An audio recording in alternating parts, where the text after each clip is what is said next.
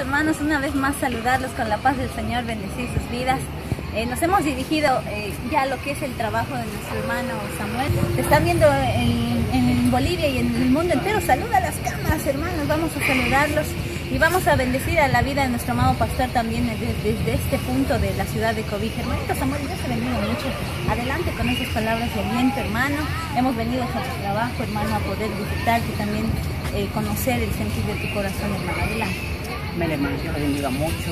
Dios los bendiga a cada uno de ustedes, cada uno de los hermanos que están escuchando en este momento, a nuestro siervo Dios Altísimo que ha podido, en este tiempo, ha podido desde de esta nación, de esta Bolivia, poder salir esa palabra perfecta. Y por eso yo agradezco al Señor en este tiempo, amados hermanos, hermanas, en este momento. Por eso le agradecí desde mi trabajo y sorprendido un poco así, pero hoy así hermano, amados, hermanitos, Dios los bendiga mucho y, así poder agradecer al Señor, poder agradecer a nuestro hermano pastor Ricardo Claude que ha podido en este tiempo esa palabra, palabra tan hermosa, lo puede predicar y, también a poder salir a las naciones, esas palabras que están saliendo a todas. Que quisiera en estos momentos eh, poder eh, alentarles cada uno de sus vidas, aquellos hermanos tal vez están en el desierto, tal vez pasando pruebas, pasando dificultades y quisiera alentarles cada sus vidas que, este tiempo que el Señor a poder preparar ese evento, además y, poder alentarles de que se pueden fortalecerse en este tiempo con esas palabras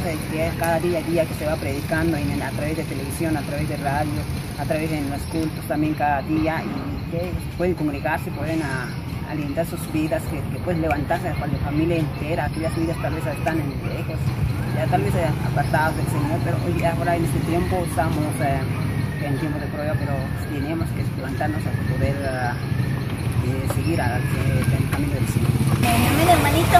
Que el Señor te bendiga mucho, hermano. De esa manera nos despedimos y volvemos a celebrar. Dios te habrá.